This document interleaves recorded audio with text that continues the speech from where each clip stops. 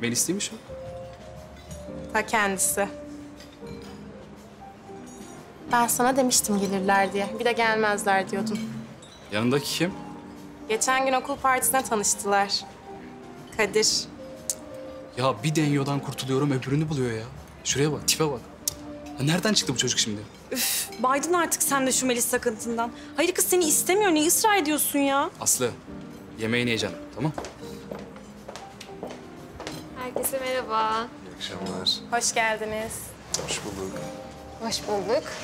Tanıştırayım. Kadir. Memnun oldum. Nasılsın güzellik?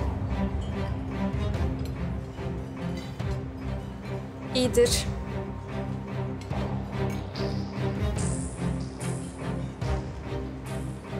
Ee, sınıf arkadaşlarım Gizem, Aslı. Vay, sınıf arkadaşlarım olduk şimdi. Kadir'cim, kankam diyecekti de karıştırdı herhalde. Bugün biz bayağı yorulduk. Belki unutmuştur. Evet. Bugün Kadir'le sokak köpeklerine mama falan verdik. Ya ne tatlı. yani köpekler falan. Çok tatlı değiller mi? Evet, çok tatlılar.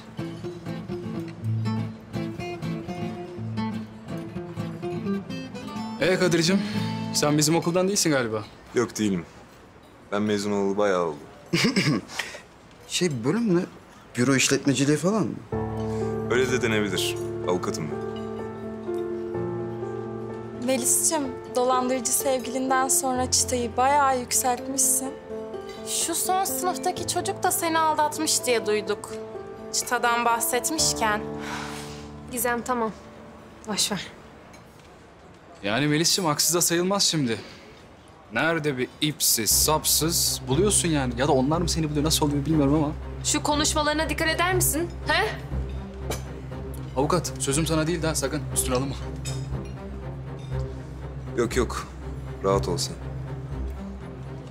Ben lafın kendisinden önce lafı söyleyen adam mı diye bir bakarım. Lütfen konuyu kapatalım mı? Bir dakika, bir dakika. Sen bana adam değilsin mi demek istiyorsun? Bu kadar hanımefendinin olduğu bir masada tat kaçırmayacak kadar adamsındır herhalde. Kadir. Kadir lütfen.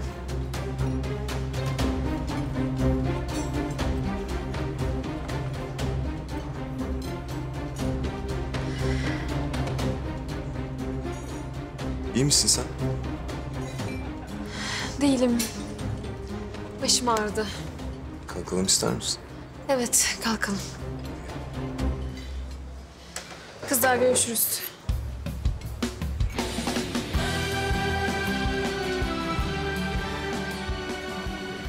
Hanımlar, iyi akşamlar.